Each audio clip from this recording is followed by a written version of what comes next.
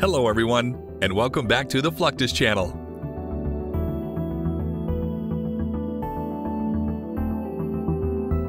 Since the very first astronaut program, NASA has placed a significant emphasis on proper training. Nowadays, training modern International Space Station astronauts remains a high priority.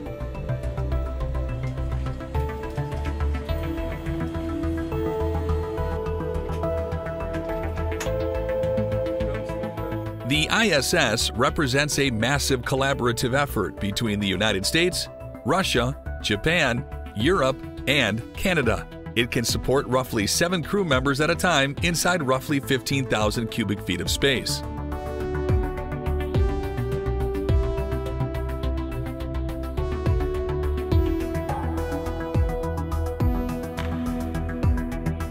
Getting to and leaving the space station requires an extensive docking and undocking process. Following the latter, crews need to re enter Earth's orbit.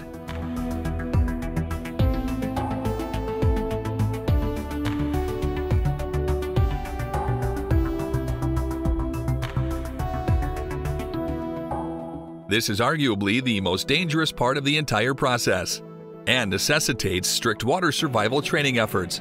Unlike shuttles, capsules cannot land under their own power. Therefore, simulating a potential water landing under various conditions has become extremely important.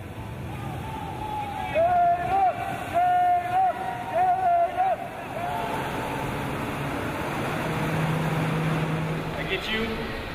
Okay. You have an eye too? Nice mustache. All right. So you two. let's do- Here, NASA astronauts are taking part in water survival training at Fairchild Air Force Base in Washington. This particular simulation is for a crash landing in rough water. It covers egress procedures, hoist operations, and even raft survival.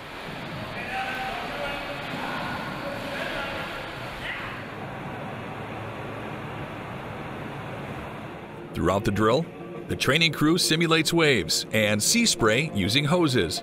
Meanwhile, lights, smoke, and fans simulate wind and other distractions.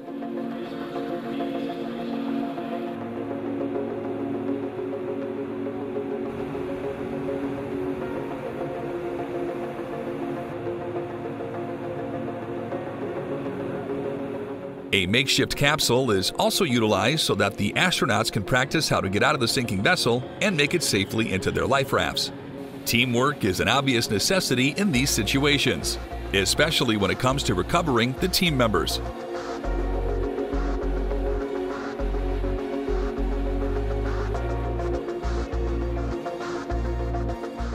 Water actually plays a significant role in other types of astronaut training. After all, being underwater is the best way to simulate weightlessness and a low cost alternative to expensive centrifuges and zero G aircraft flights.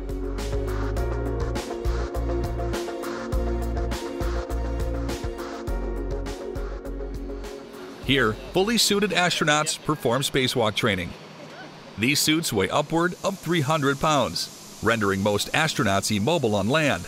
By practicing in water, astronauts can get a real sense of what it's like to walk in space. NASA has massive pools available for these spacewalks.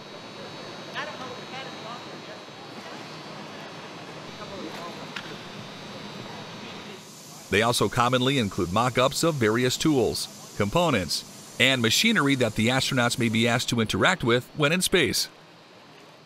So, where one individual might be training to perform zero G external repairs, another can simultaneously practice their movement and navigation abilities in the same pool.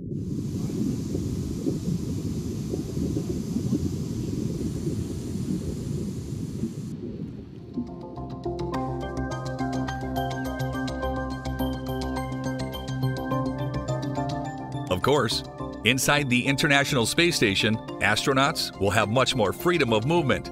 In fact, they will only be asked to don full spacesuits in the event they need to go outside to perform repairs.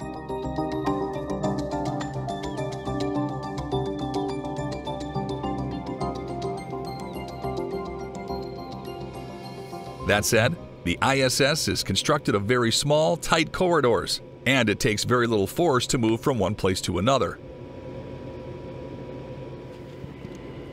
As such, Astronauts need to make sure they know how to move around without damaging any of the sensitive equipment or injuring themselves.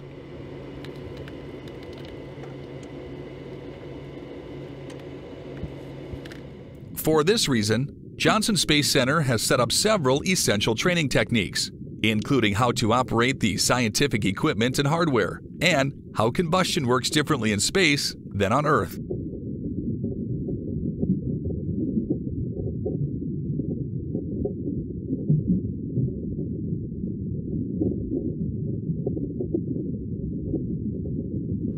All of this training is integral to ensuring the safety and security of everyone on the mission.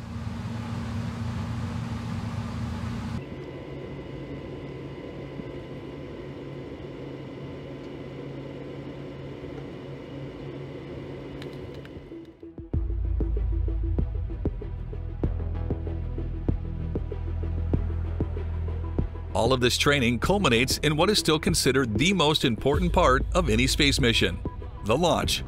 Since the beginning of the space program, billions have been spent optimizing this process, while also trying to maximize the safety of everyone concerned.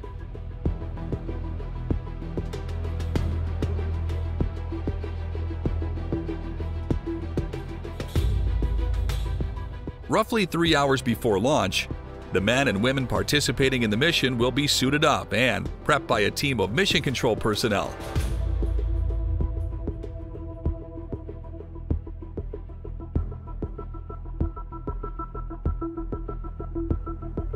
Once properly prepared, they will head to the elevator, where they will have a chance to say goodbye to their support teams. The elevator takes them to the surface, where they enter a specially designed Airstream vehicle for transport to the spacecraft.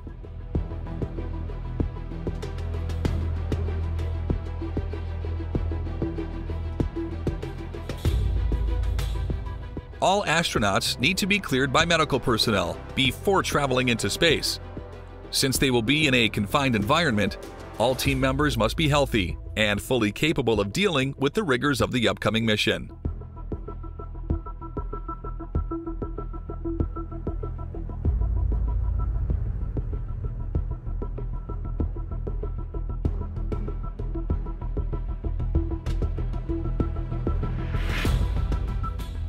Here, you can see everything that goes into preparing the actual spacecraft for launch.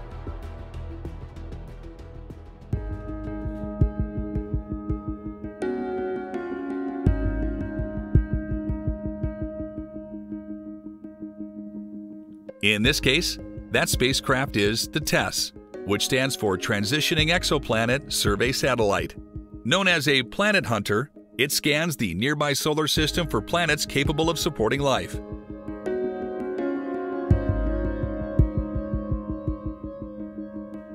The first step in this process is transporting the TESS from Dulles Airport in Washington to the Kennedy Space Center in Florida. This may seem like a simple process, but it is actually quite treacherous, given the sensitive nature of the spacecraft. This is why it is kept in a specialized shipping container, which resists moisture, heat, and cold. The TESS is then removed from the container and unwrapped by a team of engineers wearing environmental protection suits. The TESS is then joined with its launch vehicle, the SpaceX Falcon 9 rocket,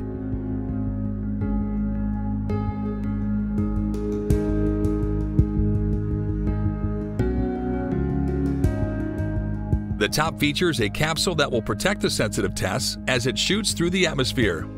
During encapsulation, the capsule is split, and the uncovered TESS is installed inside.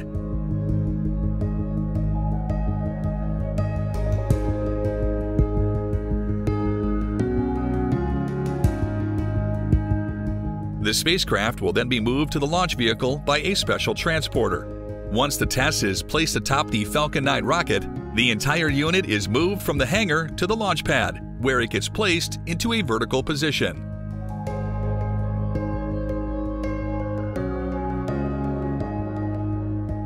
Once everything is in place, the SpaceX and NASA launch teams will perform the final preparations and then initiate the countdown to liftoff.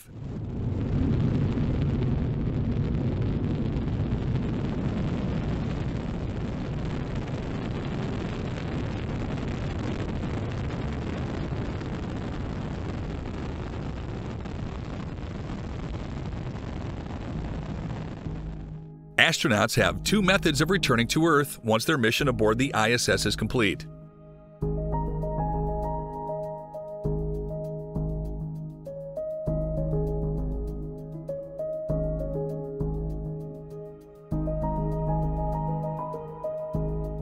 The main method uses Russian Soyuz capsules, which have been in service in one way or another since the 1960s. These descent modules are heat shielded to protect the spacecraft and the crew from the high temperatures generated during reentry. They also have various systems for temperature control, radio communication, and controlling the spacecraft itself.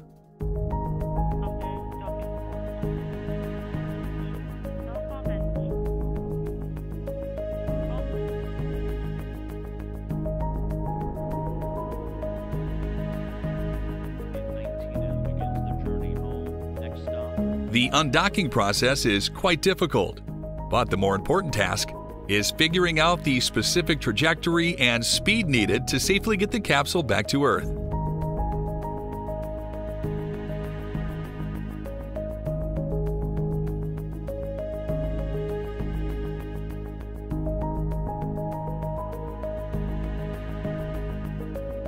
After the crew is in place, the crew commander will unhook himself from the ISS.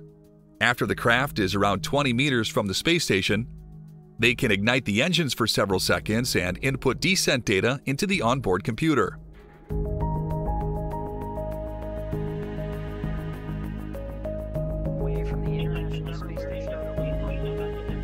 Since the capsule is still in orbit, it must burn its engines and change its directory into the atmosphere. The atmosphere itself helps decelerate the capsule, which will enter the atmosphere upon achieving the optimum directory and begin falling safely down to Earth.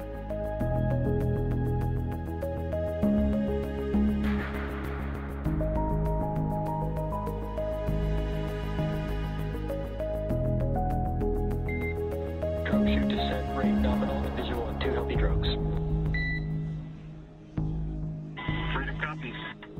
The astronauts aren't the only ones responsible for ensuring the capsule and crew enjoy a safe landing.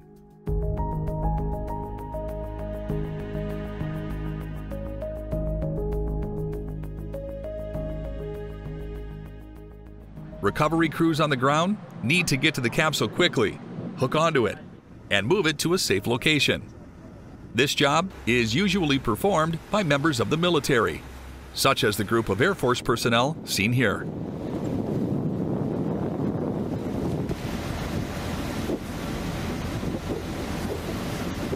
Though capsules can float, spending too much time in water can put the crew and equipment at risk.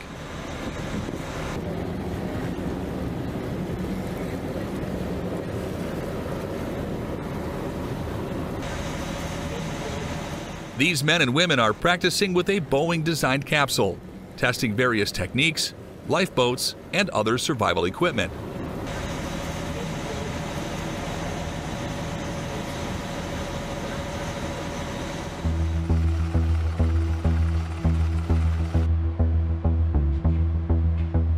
The Navy has also participated in recovery missions. Specifically, they've tried to see if they can execute launch and recovery operations from the well deck of ships like the USS Arlington.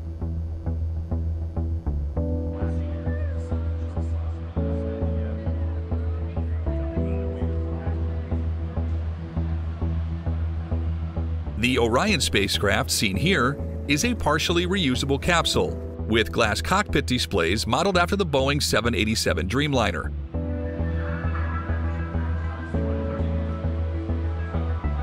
It has a mass of around 20,000 pounds, making a recovery difficult, even in calm seas.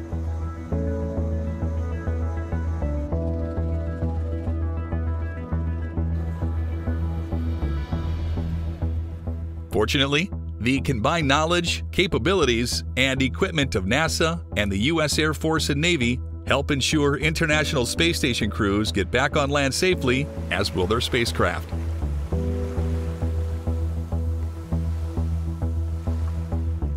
That's the end of this video. I hope you enjoyed it. Make sure to subscribe to this channel so you don't miss any of our new content. See you next time.